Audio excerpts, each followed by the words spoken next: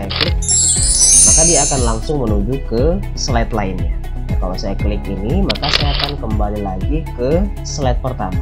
Jadi ketika saya mengklik gambar ini maka kita akan langsung melompat ke slide terakhir atau slide nomor 5 nah, ketika saya klik seperti ini maka kita akan langsung terhubung ke file PDF yang sudah saya simpan sebelumnya kita close. Jadi kalau kita mau mengakhiri slide kita cukup klik aja tombol off ini Halo, Assalamualaikum warahmatullahi wabarakatuh. Selamat ketemu lagi teman-teman komunitas digital belajar komputer dari nol.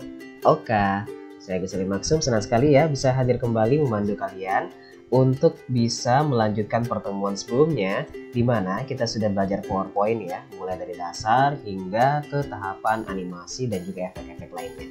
Nah, pada tutorial kali ini teman-teman, saya akan membagikan skill penggunaan hyperlink dari slide ke slide, kemudian dari slide ke file yang sudah kita simpan di dalam komputer. Kalian bisa simak tutorialnya kali ini.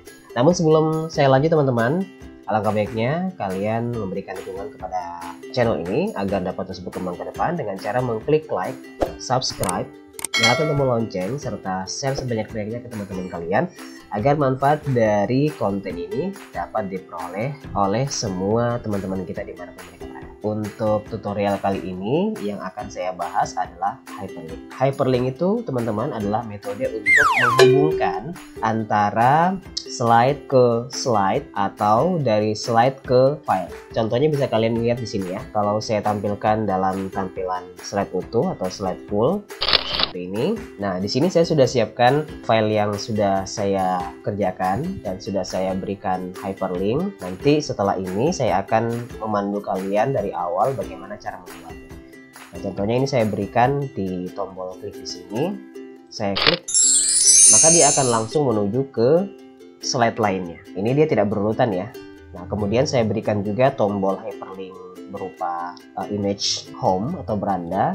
Ini bisa kalian download di internet ya bebas. Nah, kalau saya klik ini, maka saya akan kembali lagi ke slide pertama. Adapun gambar logo Tree Collaboration ini saya sudah hyperlink juga ke slide terakhir teman-teman. Jadi ketika saya mengklik gambar ini, maka kita akan langsung melompat ke slide terakhir atau slide nomor 5 yang sudah kita konekkan atau yang sudah kita linkkan. Nah yang terakhir saya juga akan mengajak kalian menuju ke file PDF atau file yang sudah saya simpan di dalam komputer dan itu bisa kalian akses lewat tombol hyperlink di slide PowerPoint kalian ya yang sudah jadi ini.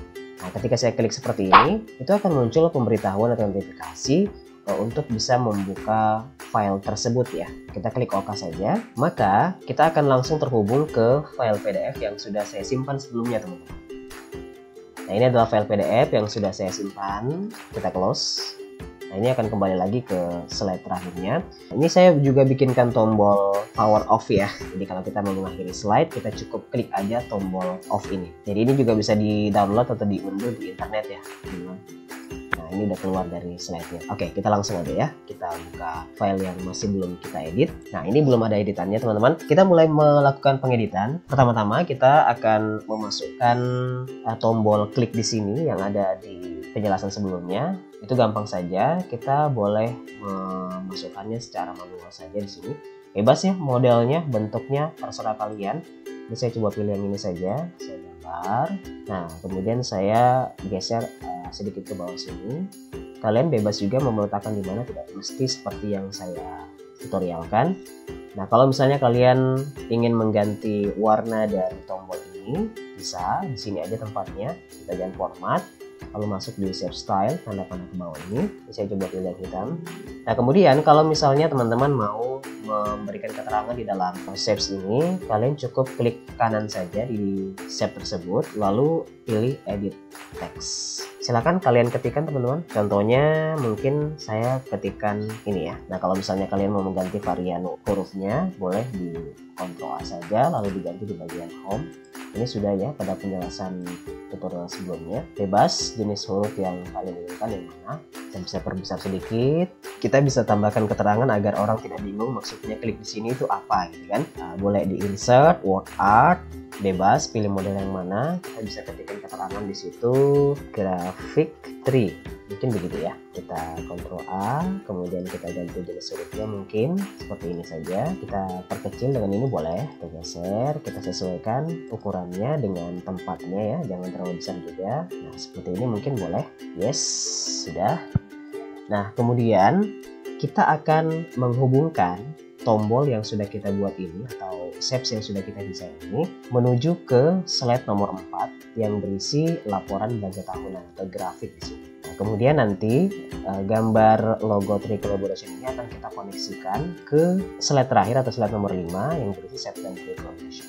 Oke, sekarang kita coba mulai ya. Tahapan pertama, ketika kalian mau menghubungkan antara slide itu, maka kita harus menentukan dulu mana yang akan kita jadikan sebagai tombol hyperlinknya ya, atau tombol linknya. Contohnya misalnya di sini, di klik uh, keterangan tombol klik di sini itu kita klik aja tombolnya ya, jangan tulisannya, untuk mempermudah nanti dalam metode klik hyperlinknya. Kemudian kalian boleh masuk di tombol insert, lalu cari action. Biasanya sih ada logo bintang ya. Kalau di versi sebelumnya itu bintangnya warna kuning. Kalau di versi 2016 ini sudah berubah warna menjadi warna biru. Tapi keterangannya masih sama ya action. Nah setelah kalian klik action ini ada ada banyak pilihan di action settingnya mouse kliknya. Uh, cukup kalian klik aja di hyperlink tool kemudian klik tanda panah ke bawah ini untuk melihat uh, pilihannya apa saja. Dan kalau misalnya kalian mau menghubungkan antar slide maka sebaiknya kalian arahkan ke sini. Ke slide ya S L I D E. Satu kali ini akan membuka slide-slide yang tersimpan atau slide yang sudah kita kerjakan. Tinggal pilih aja kita mau koneksikan atau mau linkkan ke slide nomor berapa. Tadi kan kalau nggak salah kita mau hubungkan ke grafik ya. Jadi yang ini laporan belanja itu kita klik aja nomor 4 lalu pilih OK.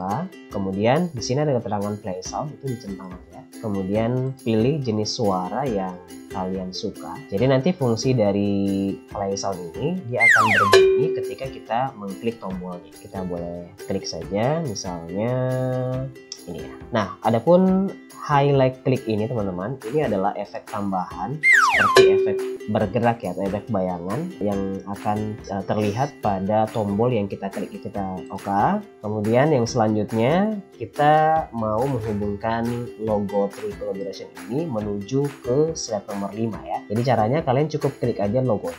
Kemudian sama ya, kita klik action, hyperlink to, arahkan ke slide, lalu kita pilih slide nomor 5. Oke, soundnya bebas, silakan highlight klik juga diaktifkan. Oke. Gitu ya. Kita boleh melakukan tes ya pada slide pertama yang kita sudah buat ini untuk membuktikan apakah yang kita lakukan ini sudah berhasil atau sudah bekerja. Caranya dengan menekan Shift F5 untuk menampilkan dalam mode slideshow. Dan ini akan muncul secara utuh. Nah, kemudian kita coba tes ya tombol pertama yang kita sudah buat tadi, tombol klik di sini, apakah dia bisa langsung terkoneksi atau terlink ke slide nomor 4 tentang grafik. Kita coba klik. Wah, alhamdulillah berhasil ya. Kita coba keluar manual, escape.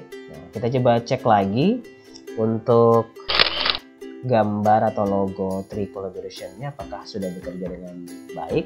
Kita coba klik ya. Wah, bekerja juga. Jadi sekarang sudah bisa terhubung ya ke slide 5. Namun ini belum selesai teman-teman, masih ada yang harus kita hubungkan lagi.